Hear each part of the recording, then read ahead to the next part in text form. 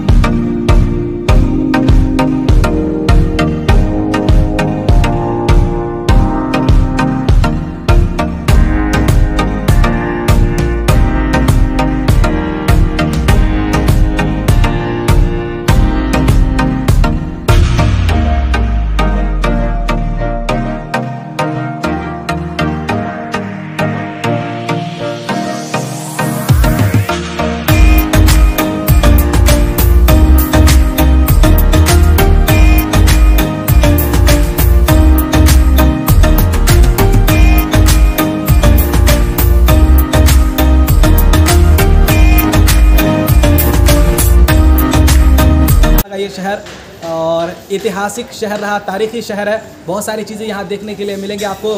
बिदर का किला है, उसके बाद जो है आपको जो है अब दरगाह अबुल फैज़ मिलेंगे और बहुत सारी चीज़ें हैं जो देखने के लायक है तो बिदर ज़रूर विज़िट कीजिए। फाइनली अभी हम जो है बिदर शहर के स्टेशन में काफ़ी खूबसूरत स्टेशन है। तो दोस्तों, आज के ब्लॉग के बारे में ज़रूर बताइएगा कमेंट बॉक्स में। फिर मिलते हैं एक और वीडियो के साथ, तब तक के लिए खुदा हाफिज़।